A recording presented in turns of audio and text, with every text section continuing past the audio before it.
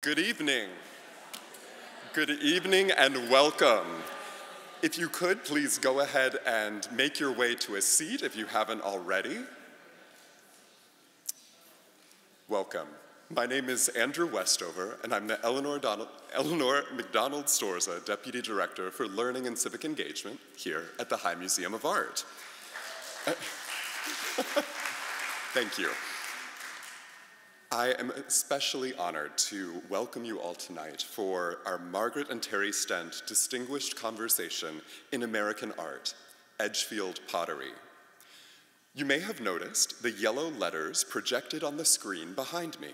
This is a live captioning service. A person in another room is listening to the sound the microphones pick up, then transcribing that sound into text.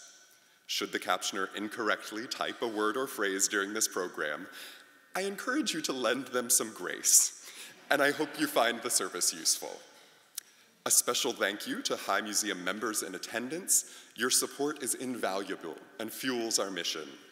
If you are not yet a member of our museum or need to renew, please visit high.org at the end of this program. Tonight's program is in conjunction with our current exhibition, Hear Me Now, the Black Potters of Old Edgefield, South Carolina, which was organized by the Metropolitan Museum of Art and the Museum of Fine Arts Boston, with support from the Terra Foundation for American Art and the Henry Luce Foundation. This exhibition is currently on view, and if you haven't yet seen it, you must. It will close on May the 12th, so you still have a bit of time. I encourage you to come back often. This exhibition was made possible by funding from our exhibition series donors Delta Airlines Incorporated, ACT Foundation Incorporated, William N. Banks Jr., Joseph H. Boland Jr., the Cousins Foundation, Burton M. Gold, Sarah and Jim Kennedy, Harry Norman Realtors, the Wish Foundation, and benefactor exhibition series supporters Robin and Hilton Howell. Also, thank you to the full High team for their essential support that makes this program happen. Tonight, we will hear from the High's own Monica Obniski and Katie Jentleson, and we are especially glad to welcome curator Jason R. Young to this conversation as well. I'll now invite Monica to share more about tonight's program.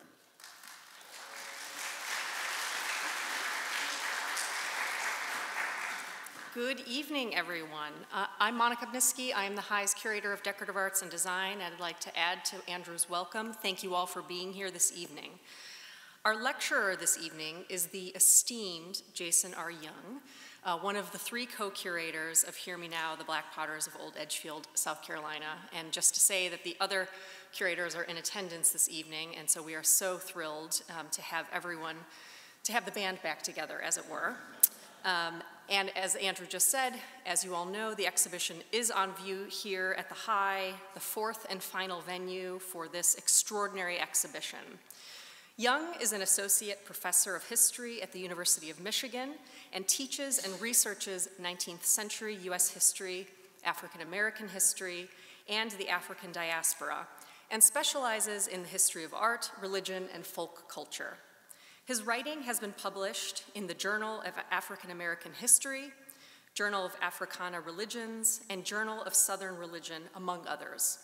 He is also author of Rituals of Resistance, African American, excuse me, African Atlantic Religion in Kongo and the Lowcountry South in the era of slavery. And just as a plug, you can purchase a signed copy of this important text uh, that Jason signed for us earlier today. Uh, after this lecture in the um, lobby, uh, our wonderful colleague Nicole is selling copies of Jason's book as well as the exhibition catalog Hear Me Now. Jason is also a co-editor with Edward J. Blum of the Souls of W.E.B. Du Bois, New Essays and Reflections. Now, it is extra special that we are welcoming Jason to the stage, not only because his PhD in history is from the University of California, Riverside, but mainly because he's also a Morehouse man.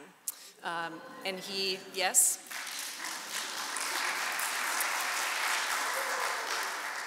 I know there are some alums and, and current Morehouse um, men in the crowd. Uh, he graduated from Morehouse with a degree in history and French. Um, so uh, we, are, we are thrilled to be welcoming him. So after Jason's lecture, we, he is going to enthrall us all um, with a short lecture, and then afterward, he'll be joined on the stage by my colleague and venue co-curator, uh, Katherine Jentleson, who is the Marie and Dan Boone Curator of Folk and Self-Taught Art and Senior Curator of American Art at the High Museum of Art.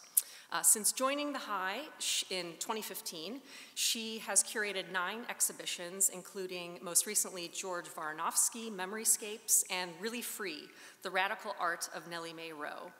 Jentleson has grown the High's renowned collection of folk and self-taught art by more than 500 works, including major acquisitions of work by Voronovsky, Thornton Dial, Lonnie Holley, the Gee's Bend Quilters, and Henry Church. Uh, recently, in 2020, 20, 2022, she began a three-year term as co-executive editor of Panorama. Um, Jentleson holds a BA from Cornell University and a PhD in art history from Duke University. And now, Atlanta, please join me in welcoming Dr. Jason Young to the stage for the Stent Lecture in American Art.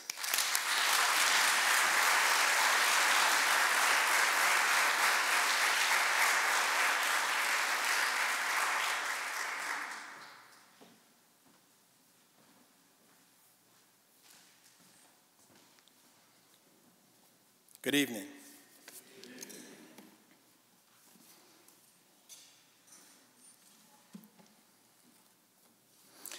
I'll let the first one pass so we can try it again.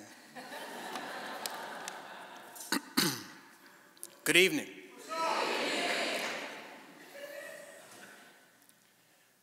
I've been asked to speak for 20 or 25 minutes. And like a good Baptist preacher, I promise to be brief. I would like first to acknowledge, and more than that, celebrate the wonderful achievement of this truly astonishing installation of Hear Me Now. I am awed by this, the fourth iteration of this exhibition. It is a celebration and a song to the Black Potters of Old Edgefield, South Carolina. I want to acknowledge my co-curatorial partners, Adrienne Spinozzi and Ethan Lasser, with whom I've been traveling on this journey for years. The show first opened in the fall of, of 2022, but our conversations began much earlier than that. Several members of Dave's family are here, as they have been at each and every step along the way, and I feel just so honored to say that I know them. Especially in this moment of triumph and celebration, I feel obliged almost to whisper in the most furtive, hushed tones some of the sufferings that this show produces in me. I've carried these feelings like a weight in galleries. I've carried it behind lecterns. I've carried it in classrooms. I've written and revised and deleted these aches on computer keyboards and on PowerPoint presentations. And tonight, I want to bring some of this pain out to play, to let it see you and you it. Let's see what happens. To begin, I'm reminded of the Jamaican writer uh, Dennis Scott, whose brief poem Construction helps to clarify the curious lives of black people living in this, the moment of our current discontent. He writes, Sometime in the great house wall is like a thumb marked the stone, or a whole hand. Granny say is the work sign. She say it favor when a man tackle the stone and make to tear it down, to the mortar take the same shape as him hand. But I feel say is like somebody push the wall up and hold it there until the brick them dry out, and that is hard.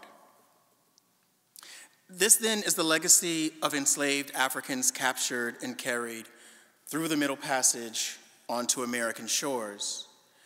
In one sense, they and their progeny were crucial to the formation of the modern world, working the land on, sla on slave plantations, laboring under it in mines, and traversing the nether spaces between as sailors and soldiers, black people were essential to the development of emerging forms of modernity. They pushed up the walls of the modern world and hold it there until the brick them dry. Though they were central to the creation of modernity, black people have also provided perhaps the clearest and most consistent challenges to its ugliest legacies of its forced labor, racial oppression, and colonial domination. Here, black people have worked both under slavery's yoke and in its aftermath to tackle the stone and make to tear it down. These efforts have borne fruit in slave rebellions and conspiracies, in state houses and landmark court cases, revealing a slow simmering culture of resistance found in and fed by black art, of its music and dance and poetry and divination. If this is just a roundabout way of saying that black people bear a rare, strange relationship with the West, then so be it. We are both firmly rooted on its soils, even as we are relegated to its distant shores. We gaze upon the West as through a watery lens, just as we are viewed through that self same partition. From that liminal perch, black people cast dark shadows and haunt the West in its comfortable slumber. We drift upon her shores as so many refugees, captive Africans, temporary migrant workers, and immigrants. We live in the faraway nether spaces or in the centers of grand cities, in American inner cities, in Brazilian, Brazilian favelas, and in French banlieue. And from here, on this perilous perch, we set fires and mix healing powers, powders and harmful poisons. And from here is our Santeria, our candomblé. And from here is our juju and our jump shot. Here we stir the cook pot full for hoppin' john and jollof rice and gumbo, for kelewele and waakye and for grits. Or, as Dave put it in 1858, fill this jar with pork or beef. Scott will be there to get a piece. I see a hand extending, reaching, grasping stubbornly from the past up to and through to the present. A signature in the form of a handprint, and the bottom of a pot as a clay tablet. This hand is a testifying, a telling of truths. You may see the bottom of a broken pot. I'm looking at a time travel machine. I imagine in this hand a furtive attempt to break free of all constraints, whether temporal or physical, a hope for a place not here, for a time not now. I see in this hand a crossing of time and geographies, a reaching out to us. And though we might protest the improbability of such a technology and declare this witnessing a mere fiction, I'm reminded of Toni Morrison's faith in untellable tales. Stranger things happen all the time, everywhere, she writes. You know. I know you know. One question is who is responsible? Another one is can you read? To be sure, the persistence of this handprint can be easily explained, explained away as a mere chemical reaction, a coincidence. But the clasping of our hands to this one is a necessary impossibility. The objects on view and hear me now are, to be sure, things of the past. But they also provide for us a lens to better understand the vexations of Black life in the here and now. Our bodies and forever lost souls are now so quickly absorbed, consumed really, before being returned to us as a number of slogans Hands up, don't shoot. I can't breathe. Say her name. But we are big and broad and wide, and our losses cannot be accounted in hashtags.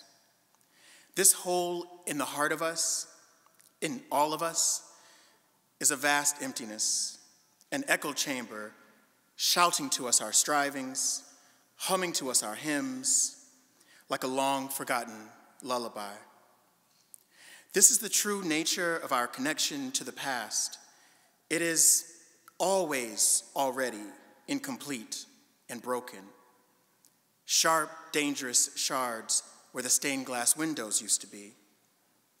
Saidiya Hartman calls these shards traces of memory that function in a manner akin to a phantom limb, in that what is felt is no longer there. Or I'm reminded of Octavia Butler's Kindred and the cruel cost that the past levied on the body of Dana, a young black woman pulled repeatedly and against her will from the comfort of her life in the present to the plantation of her ancestral past. I lost an arm on my last trip home, my left arm. And so, this reaching, grasping hand is our necessary impossibility, our improbable bridge from this known place to the foreign shores of the past.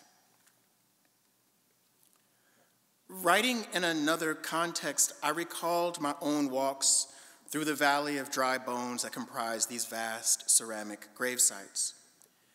Walking in and around Edgefield, I found myself trying to step ever so slightly, ever so lightly through the remains of cracked mouths, shoulders, and handles.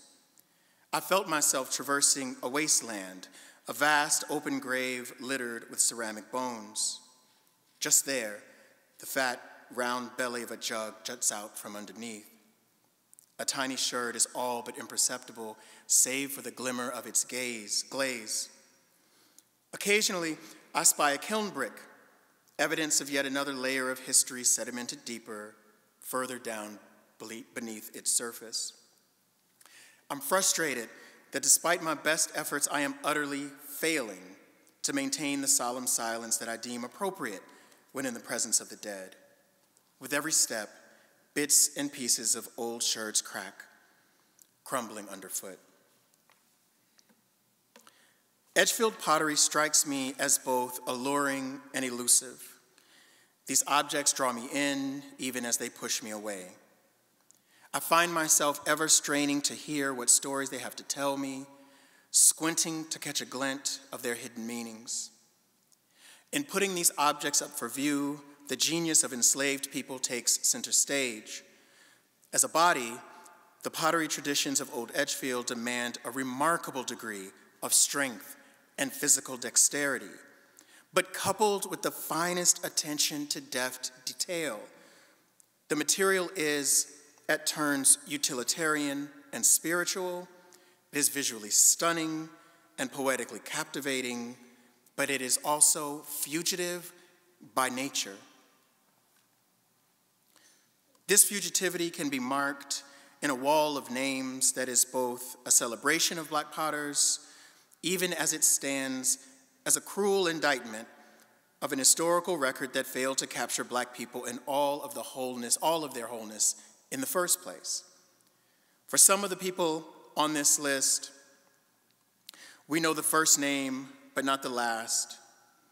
For others, we know the year that they died, but not the year of their birth. We know something about the work that some of them did. This information was simply not recorded for many others. In an attempt to respond to this imperfect, incomplete archive, the curatorial team developed, and our partners here at the High have wonderfully embraced and revised a convention marked by a line and with the reference, makers once known. We intend this blank line to serve as an invitation, hoping that with increased attention and research, we might be able to name some of the previously unnamed. But failing that, the line will remain a gesture, a holding of space for people who lived, loved, and who were loved by others.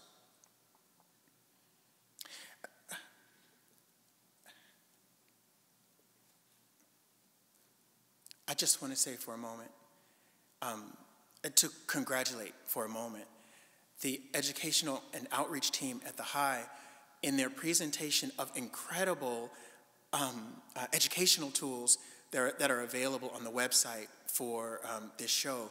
It's really quite fascinating, and I just want to say out loud that the team did a great job of, of developing um, teacher training. Yes, please, yes.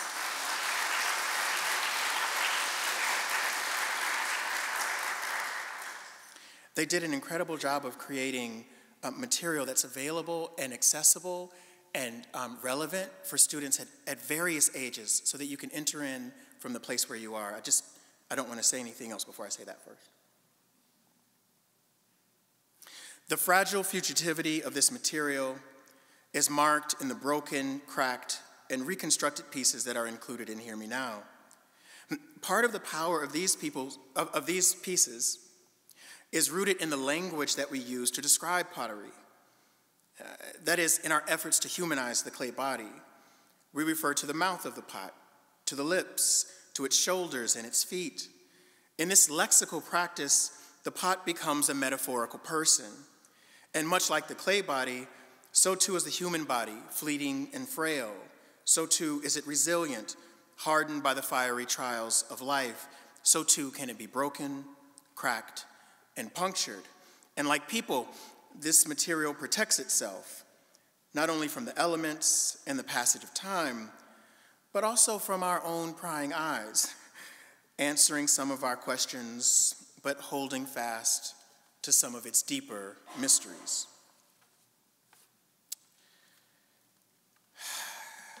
And now, this part. I would like to tell you a story now, but I don't know how. It's an impossible story, and it happened to me. It happened to me in this building not too long ago.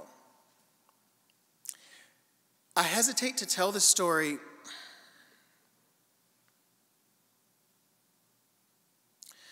not because I fear that you wouldn't believe me. It is an unbelievable story, and it would be perfectly reasonable for you to be doubtful. Instead, I hesitate to tell you this story because if I tell you, and if you believe me, then you will be obliged to carry some of the weight of it with you. Better than for you to have your own gravity and for me to have mine. I, I don't mean to be cryptic here. So, so instead of telling you this story, I'll tell you two others. Uh, story number one. In 1858, a racing yacht called the Wanderer landed on Jekyll Island with a cargo of roughly 400 illegally imported Africans, some 50 years after the transatlantic slave trade had, had been made illegal. About half that number was disembarked quickly and shuttled up the Savannah River to the Lamar Plantation in Aiken, South Carolina. Historical records confirm that some of the Wander survivors were subsequently put to work in the region's expansive ceramic industry. Notably, some of the buildings that originally housed slaves, the, the so called slave quarters, are still standing on this property. Years later, in 1908, a group of anthropologists descended on the area to find some of the survivors, some of the wanderer survivors, still living in the area. We have that team of researchers to thank for these photos. The arrival of the Wanderer survivors coincided with an explosion of a very particular artistic form that married their African heritage with the means and materials of the ceramic tradition to which they had been brought against their will. Uh, you've seen some of these objects, if you were um, able to, to walk through the gallery, in the form of face vessels. Much of the material that enslaved people created in and around Edgefield, much of the ceramic material, was made for the use and benefit and proper operation of the slave plantation. These items, by every account, were not. They were made in the time before the day started. They were made in the, day, in the, in the hours after the day ended. When we want to know something about how African people expressed their, themselves artistically and, and aesthetically, we have the face vessel tradition to look to. One of the reasons why the face vessels are relatively smaller than some of the other massive vessels that you see on view in the show is that these materials would have been placed in the gaps and spaces and crevices and cracks in the kiln between those big um, vessels. I'll have more to say about face vessels in just a few moments. But I want to tell you story number two. Uh, writing in her classic novel, uh, Beloved, Toni Morrison describes a house uh, called 124 that held its own history within its rafters. Uh, this is Toni Morrison. You know, some things you forget, other things you never do. But it's not. Uh, places, places are still there. If a house burns down, it's gone, but the place, the picture of it, stays, and not just in my rememory, but out there in the world. I mean, even if I don't think it, even if I die, the picture of what I did or knew or saw is still out there.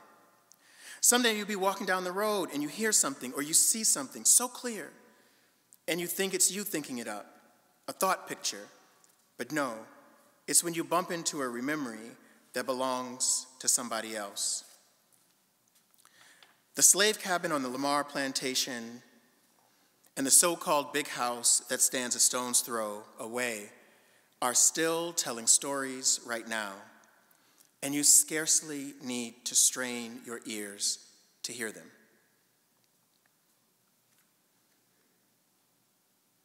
In this vast valley of dry ceramic bones, every shard is a storyteller, every inscription an invitation, every pot is a world in itself. Stranger things happen all the time, everywhere. You know. I know you know. One question is who is responsible, another is can you read? Thank you.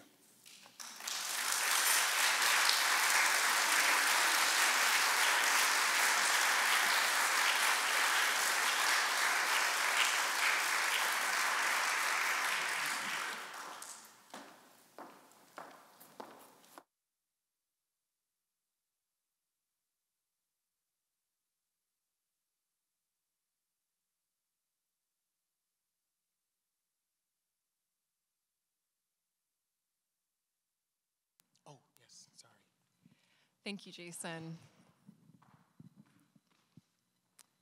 Um, I think it's a it's remarkable to hear you speak tonight because we all know it's a kind of important moment for the show, the end of its tour. Um, so it feels like a really a very full moment. Um, I feel full. you feel full. well, thank you for filling us and sharing so many um, so many beautiful words with us tonight and so much about the depth of your experience being involved in this show. Um, I think that I wanted to start with um, diving back into face vessels because I feel that it's a part of this Edgefield tradition that um, is both newly opened up, especially by the research that you've shared in the catalog and some of what you've shared with us tonight, and at the same time is still so mysterious and leaves so many questions. And so I wanted to kind of talk specifically about some of the objects that are in the show, uh, the Nkisi that comes from the museum collection where you work, and also this really remarkable vessel that's in the Met's collection, which was, uh, has an incredible provenance of having been owned by a really interesting spiritual healer named Mamie DeVoe, who was based in Savannah. And I'd love for you to tell us a little bit about uh, the kinds of connections that, that you made in the catalog um, and have made throughout your research between face vessels like this and the spiritual practices of Kongo? Yeah, I, I appreciate that um, opportunity. Thank you so much. Um, so, I have been interested for a very long time in the cultural relationships between West Africans and their progeny in the Americas. I've been asking myself questions about what happens to African languages when you um, take a group of people, take them out of their cultural context, drop them in a completely different context. What parts of language um, are preserved and what parts are not? What parts of religion, what parts of foodways, what parts of architectural design, what kinds of aesthetics remain and what changes? And also, related to this, what is the nature of the community conversation? I think it's important to note that we may use the term Africans, but it's really a misnomer. You're talking about a group of people who were brought from vastly different cultures, vastly different language systems, vastly different um, belief systems, and they had to negotiate with themselves to create something that we now think of as black American culture. It is a remarkable feat that these vastly different people came together and created a people. And so the, the face vessel tradition is, for me, in line with this longer set of questions that I've been asking. What is the relationship between Africans and their progeny in the Americas? One of the things that we find is um, that there are really clear connections between the Nkisi tradition that you see on your, on your left and the emergence of, of the face vessel tradition in the Americas. I'll, I'll talk just a, a, bit about some of the physical relationships um, and then just take a quick detour to talk a bit about some of the aesthetic um, relationships that exist.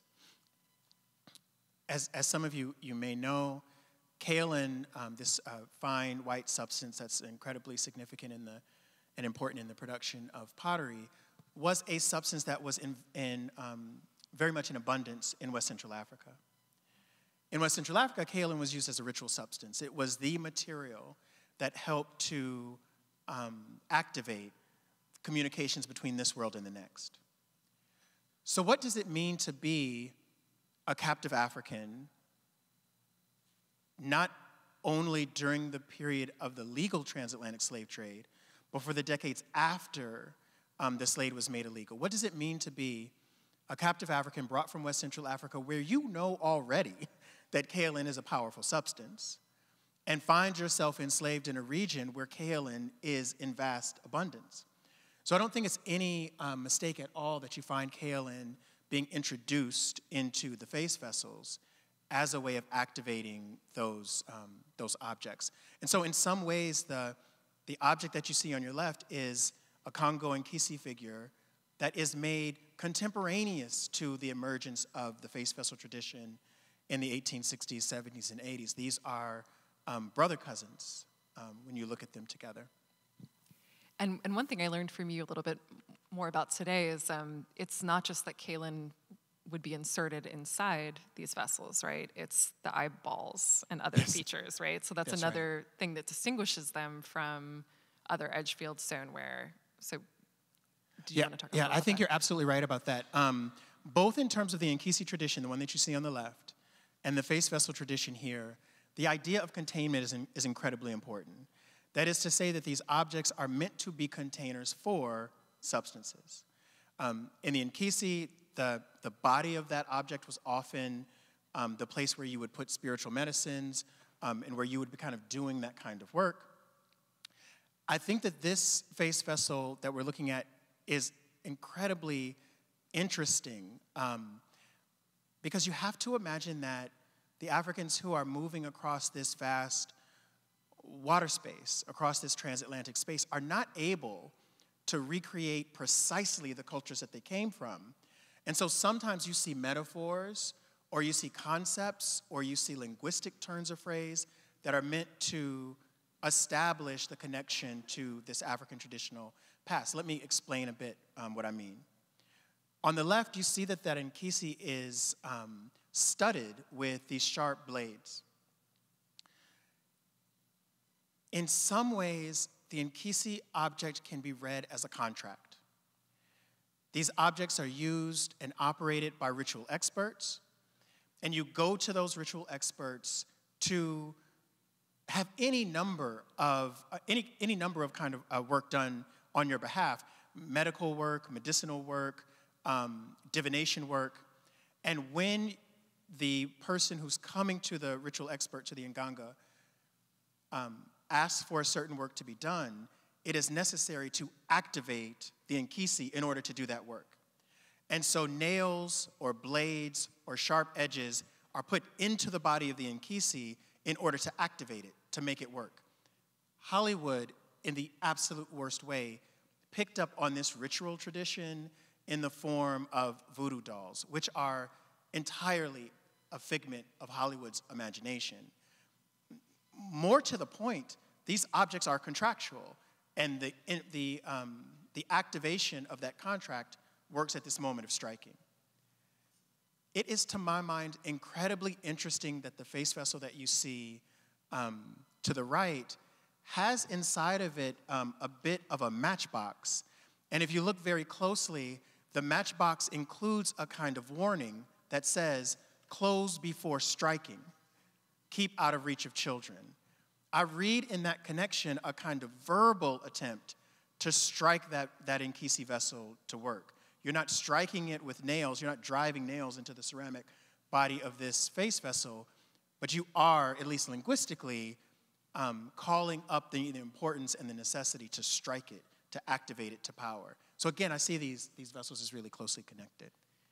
And, and because the histories of these, these kinds of objects and, and other African diasporic cultural practices that had to be kept secret or, or private or personal are um, fragmentary, right? Our knowledge of them now is from these kinds of traces that, that we're left with. Um, one of the ways that we believe face vessels to have had these kinds of um, uh, you know functions is the way that they were left on grave sites, right? So could you talk a little bit about that? Yeah. So you find face vessels, um, and also in a, in a broader sense, glass, porcelain, pottery of various sorts used as a part of funerary and burial tradition. And again, this is a practice that you find on both sides of the Atlantic. You find this in West Central Africa in the Congo region, and you find it especially in this region in particular, in Georgia, South Carolina region, where it is important once a person passes, once a person passes away, it is important to break the cycle of death so that, um, so that that death doesn't spread or, um, or affect other people in the community. The way that you break that cycle of death is to break ceramics, pottery, or glass and then place it atop grave sites. So you see burial sites in, in the Congo region from roughly the same time with, that would be decorated with these broken uh, vessels, with kind of broken pottery. It's a part of funerary tradition. And you find the same thing happening in the southeastern United States where enslaved African Americans, and this tradition goes even after the period of slavery. It extends into the 19th and 20th century where you see ceramics, face vessels, and other materials being placed on um, burial sites, on, on, burial grounds. So there's a clear connection between um, those two ritual practices. So this is a good moment to transition to talk about um, a contemporary piece in the show by an artist who's here, Adebunmi Gbadebo, in our audience. Yay. And Bunmi's featured in some wonderful videos in the galleries too. So if you haven't had a chance to watch those, definitely um, watch them on our website or, or uh, in the galleries. But um, this is a piece that, that Bunmi made um, with a connection to an ancestral gravesite uh, of her family. And so I know we wanted to kind of take a moment to honor her work and speak a little bit about what it, what it brings to the show. I, I wanted to say a couple of things. Let me say something first before I say anything. In my family, um, before we open our mouths, we're asked a question. And that question is Is this your story to tell? so if you start to tell a story in my family, you have to be clear that this is your story to tell. If it's not your story to tell, you're not meant to tell it. And so I want to be very clear, boom, like, this is not my story to tell. This is your story to tell. But I wanted to spend some time um, really with you here to indicate just how crucial uh, has been as an interlocutor, as a traveler, as um, a curator, as a speaker, and as a contributor to this um, show. Um, I met Bunmi uh, on a computer screen a few years ago. And within the first minute or so of talking, we realized that we were both in that very moment mourning the one year anniversary of the loss of a parent. Um, I was mourning the loss of my father. Bunmi was mourning at the same time. One of the reasons why I wanted to highlight this um, object, but also this practice, is to, is to make clear that as much as we are, as historians or curators or interested people, trying to piece together this fragmentary history from the past, that this work is actually in the very, and I mean this in the most literal sense, it is in the very DNA of this project, the continuing kinds of work that people like Bunmi are doing in their arts practice, in their research practice. And this is not a thing of the past. We're not, um, we're not just digging up old bones. We're in the moment, in the practice, in the body of this work. Right now, it's happening. And that, that was kind of where we planned to, to end is just that one of the amazing things, um, you know, about, about getting to be a part of the show. The High, you know, is so lucky to, to have become the fourth and final venue of it. But we've been a party to, you know, all of these amazing convenings and the events that other venues have held and getting to know Bunmi and other artists who are involved in the show um, getting to know uh, Dave's family, who um, close to 30 members um, of your family are here tonight, which is, which is absolutely amazing.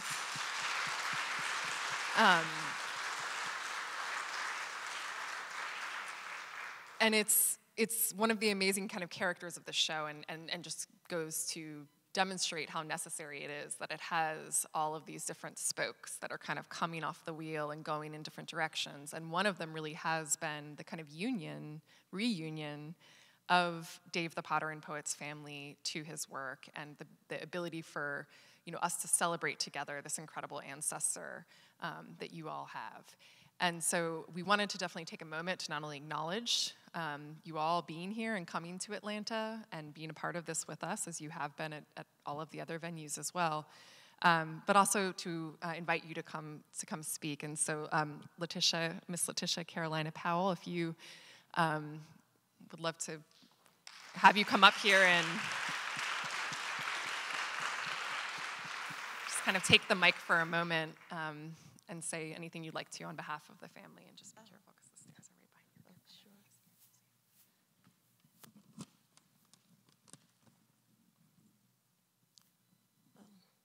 Well, thank you for having us. We really um, appreciate all that you all have done, all of the museums, all of the curators, um, all of the staff um, with all of the exhibits. Um, we really appreciate it. Um, Dave's work is so important, is immensely important historically as well as culturally. So just um, you're taking the time to celebrate Dave and his work is really a great, it's a great honor. Um, I would like to read um, some remarks that my 16-year-old nephew wrote about Dave my 16 year old nephew wrote about Dave. I'd like to read his remarks right now. Um, he says, Ladies and gentlemen, Today, I picture a man born into the harsh reality of slavery in the 19th century, a man whose very existence was bound by chains, but whose spirit soared above the oppression that surrounded him. Dave's story is a testament to the triumph of the human soul over the darkest of circumstances. Through his hands, he shaped clay into pottery, and through his heart, he etched verses onto those vessels. The, these inscriptions were not mere words, they were fragments of his soul, an outpouring of emotions that had no other escape.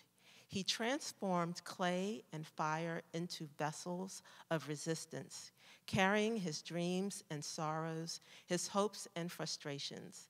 As we look upon his pottery, we see more than just functional items.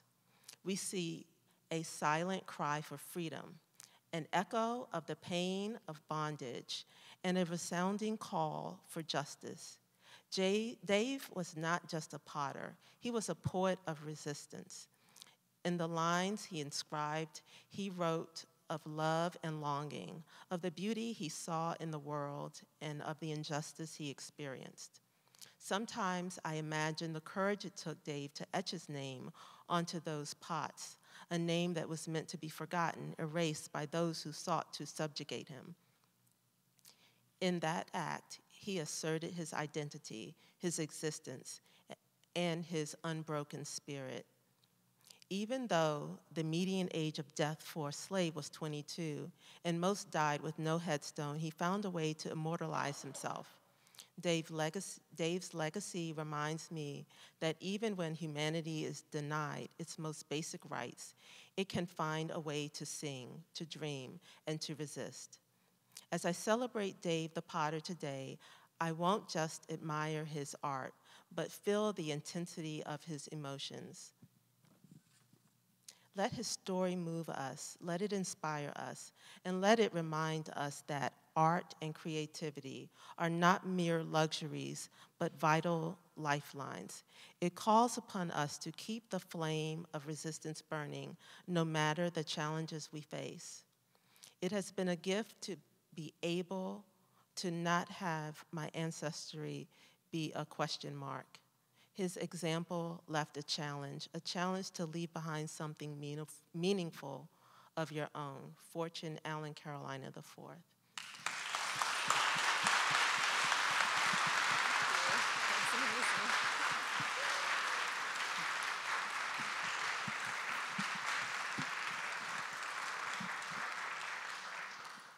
it definitely seems like poetry runs through the family line to the present. That was unbelievable. You must be really very proud of your son. Um, thank you for sharing that with us.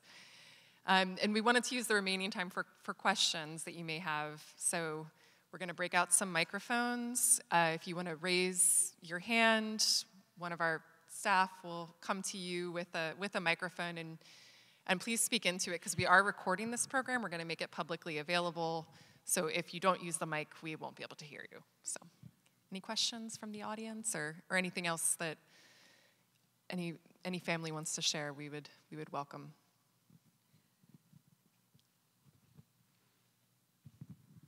Well, I'm dying to hear what was the connection that you had in the slave shed, the, the shack?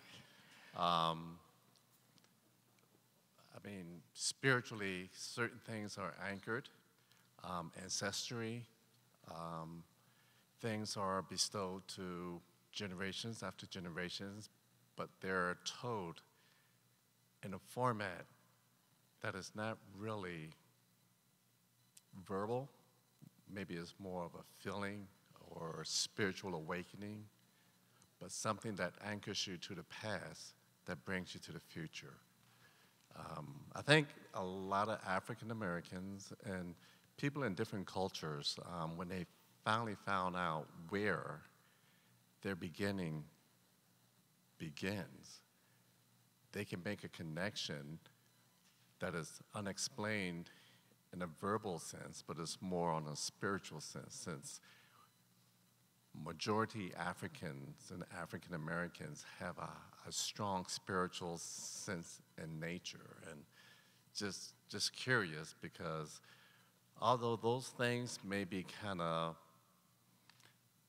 not completely explainable, but you'd be surprised when you talk about it, someone else has that same experience as well, and it doesn't end and something that is false. It kind of puts it on a different level.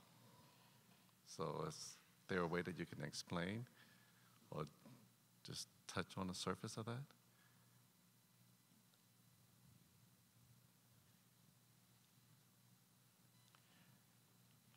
Um, sure.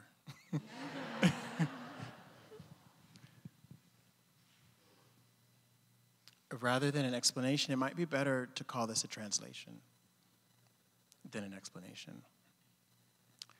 Uh, some time ago, I was um, not, I wasn't alone, and as much as is possible, I would like to extricate myself from this story. It's just that it happened to me. Um, uh, with a group of people, and we were visiting the.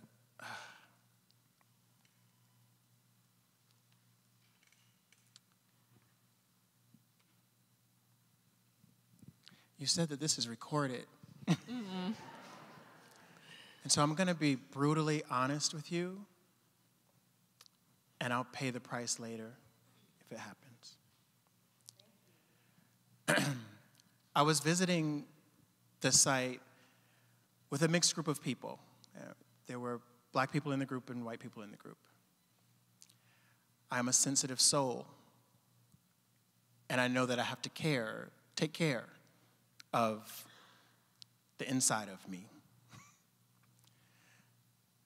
and so I waited for others to um, walk in and around and to see the site, and, and I thought that everyone had left when I went in. Inside is a, a hearth, kind of fireplace. I cannot explain this to you, but I will try to translate. That a force, an energy,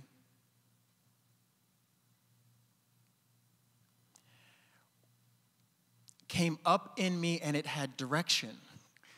It was a force or energy that started underneath the floor of that structure. It started under the floor of that structure. It came through the floor of that structure. It moved with direction up and out of me. And when that happened, it broke my body down. I all but collapsed. My dear friend, Ethan Lasser, was still in the building. I thought he had left. And he walked around seeing me. And um, in, in a, a tremendous gesture of grace, I think, Ethan, he just let it be and left um, the space. Eventually, I came out. Ethan didn't say a word about it to me. when I came out of the building, he didn't say a word about it until later that night when we were at dinner. And he said, I didn't know what to do, Jason. I saw you, and I didn't know whether or not I should help. Um, I'll say also that on a second trip, we visited not just the slave quarters, but also the big house on that plantation. And though I didn't have the very same experience, it is also a building that is speaking right now.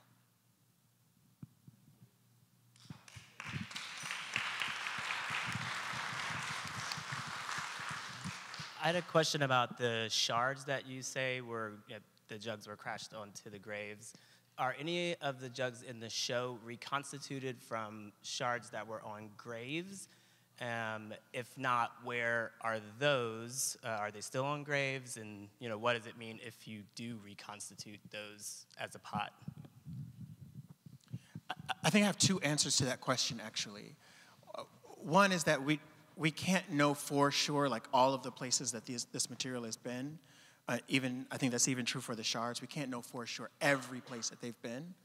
But I'll, I'll say two things to, to your point. One is that ceramics were being produced in and around Edgefield at an industrial level. So much so that even now, this landscape is littered with the shards of this material. The evidence of this production is still just a part of the landscape, it's in the ground. And so there's still a kind of living history as you walk through the space that this material is just so prevalent. And it's because so much of it was produced over a long period of time and at such a scale that it's just in the ground. The other thing that I would say, and Bunmi, this is kind of related to some of the work that you've been doing, is I think that we have to be really um, intentional and deliberate about the care that we take of slave and black funerary sites in this country.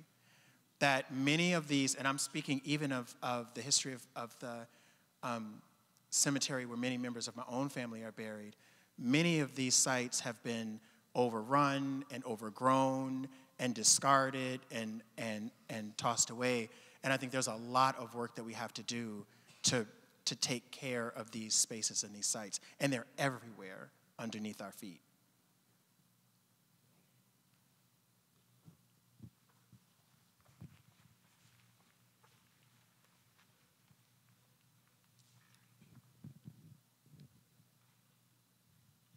Relating to your experience at the site in Edgefield, have you had any recurring experiences since then? Um, of, of that particular um, type, no. Um, but I will say, and I'm not joking about this when I, I really was not joking when I said um, the discretion that I, the discretion that I was displaying at the podium to not share this story because it will mean that some of you may carry this with you. I, you can take, you can, I only have this body and this experience in this life, and I'm, I'm trying to be honest. If you, if you need to just discard this part, you can just toss it away.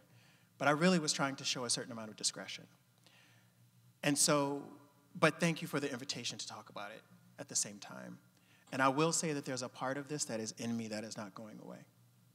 Um, and I, I feel it in an embodied way. Thank you for sharing that.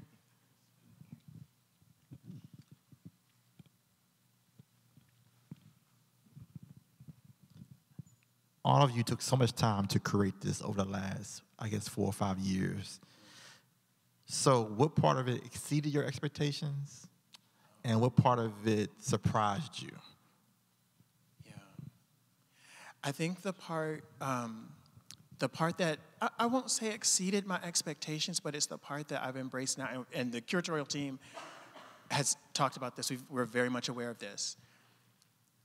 You might imagine, one, one might imagine that an exhibition has a start date and an end date, and the show goes up and then it comes down. This show is not like that. it is never coming down. Um, I joke that the conversations that led to this, to this exhibition started around a fairly small table. And at every point, that table has been getting larger and larger and larger with new experts and new ideas and new voices. And I don't see that ending with the official closing of the show in May. In fact, you know, I ate in your house. you, you know, like this, these, some of these connections are, are forever. You got me. Like, you're stuck with me at this point. And so a part of this show is just, it's living on. So that does, that has exceeded my expectations. The part that surprised me is that by and large, all of the material that's in this show has been the same from venue to venue. 90%, 95% of the material has been the same as it's traveled. This show has been completely different in every single space. It was one thing in New York, which was fantastic. And then it had a whole different identity in, in Boston. And then it became something different in Michigan. And now there's like, it's another iteration. It's this really interesting thing that space and place and context, it changes the whole thing so much so that um, someone, I think it, I think Wayne may have said this um, that even when you put the Dave pieces together in a different configuration, they have a different conversation with each other just because of like who they're sitting next to. Almost like kids in a, in a classroom, you know, the configuration and the conversations are going to depend on who's sitting at that table. It's been that way with this show, like the conversations have been changing as we've moved the pieces around.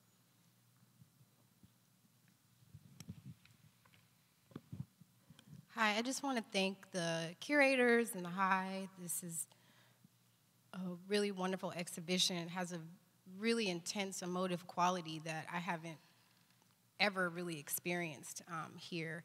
So I just want to thank you. And my question is about provenance. I'm curious as to at what point were these utilitarian vessels collectibles? And are the family in possession of any of these? How are they sort of acting within a market context? And where, when did that start? Yeah. So, one of the things that we've been um, really keen on as a curatorial team is to think about the range of ways that um, care can be exhibited for the objects and their provenance, for the um, African American community in Edgefield, for the descendant families. What does care work look like in this regard? For much of the 20th century, and there are some exceptions, there's actually some really notable exceptions, but for much of the 20th century, this material was discarded and disregarded largely because of the hands that had made them, and it wasn't considered suitable for presentation in a kind of high art museum. And so, so much of the history has to do with um, disregard, at least from the vantage point of, yeah, I don't like that term. I don't know who said it, but you're, yeah, someone said fine art. It's a, it's a, I, don't, I don't like that term, but you know what I'm talking, you'll know what I'm talking about when I say that. There was a kind of disregard for this material from that vantage point. Now, it depends on how you count um, to think about when it became. There, there are like these moments, there are these nodes of importance where it became increasingly um, um, popular and traded on um, a competitive art market. That's a part of what's happening here um, now. And we've been very clear, understanding full well that we are not necessarily the people who are supposed to have the answer to that question as, as the curatorial team, we've been trying to um, facilitate conversations, put people in rooms together to like think through that, to, to, to have thought leaders, community members, descendant communities, to have the folk who need to be at the table. We've tried as much as we can to kind of think through those, those care relationships. And that, again, is part of, the, part of what I think is going to continue as, as the show officially closes but the relationship do- doesn't end. We have time for like one more question.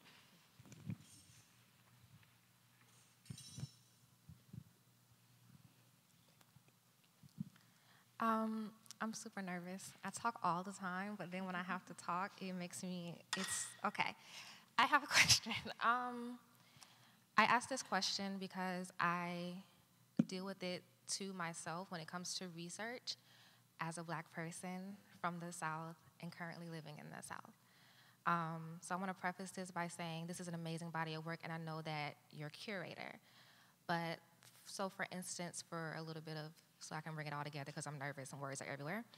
Um, I was able to visit the Clotilda in Mobile recently, yes. and it was amazing for research purposes and all of these other things. Um, and usually, when I'm visiting these sites or just diving into research, I have these feelings of revival and connection. Like, finally, I'm there, I'm, I'm learning these things, um, I'm feeling connected. And then I also have these feelings of displacement. So, a lot of times, I wonder is this my place, A, to create these bodies of work, however they may come, um, to tell these stories and to share them, or should I keep them to myself? So my question is because I am a black bodied person in the South doing these things. So my question is with your experience that you just had as a black person first and a curator second, do you have those feelings of okay, I'm done. I created the body of work. Let's move on. That's it is what it is. How do you how are you able or do you feel any conflicting feelings of being in a space like this beautiful photograph right here with so much depth and pain, displacement and revival at the same time? Does that make sense? It makes perfect sense. And in the um, I'm not trying to I'm not trying to sell a book right now. I'm just saying. I'm serious. I'm not I'm not trying to sell a book. But in the catalog, in the catalog for the show, I have an, an uh, I, I write in the catalog and I say in black and white print that I am uneasy about what it means to put these um, objects up for display in museum, in museum spaces. I am myself uncomfortable with it. And part of my own relationship with um, this material is like working, it's not even working through, it's working with that discomfort. I have never gotten to a point where, oh, I feel fine now. I've resolved all the tensions now. I've, n- I've never gotten to that point, and I don't think I ever will get to that point. Um, I am in the discomfort. You said a black bodied person. I'm in the discomfort as a black bodied person. I'm not trying to run away from it. I'm not trying to excuse it. I'm not trying to, like, um, oh, but what had really happened? I'm not trying to do any of that. But I'm in it, really, honestly, in it, that discomfort. And I don't know that I'll ever be settled about that. Just one final, final question. Sorry. No, this, excuse me. This is not a question. This is about the genealogists that found Dave's family. Mm-hmm. And I promised April, wherever we would go, I would always mention her name, how she connected Dave's family and found us. And that she will always remain in our hearts. We are so grateful that she, one day, she called and I said, I will explain it. I don't care where I go. April, the genealogist that found Dave's family, she called and she said, I've been looking so long for you. She said, Are you Daisy? And I said, Yes, I'm Daisy.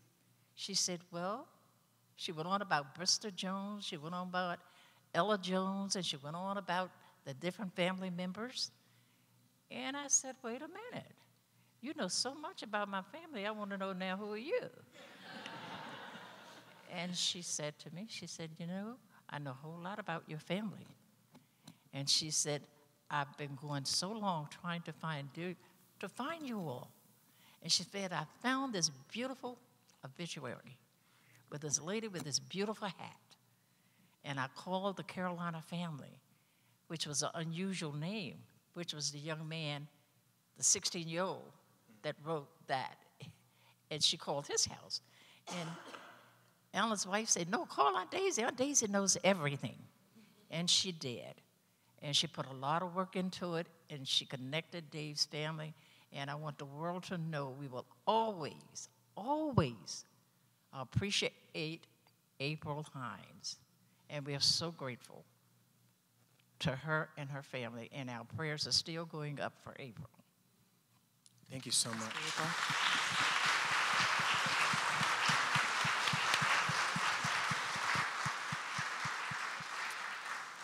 Well, thank you again, Dr. Young, for just an absolutely incredible evening. Um, and thank you all for your, for your amazing questions. That was, it was really wonderful to hear from all of you. And thank you to Dave's family for being with us tonight. So I hope everyone will come back and see the show, keep experiencing it, keep living with it, learning from it. And, um, and we're just so uh, happy that, that you all came out tonight. So thank you.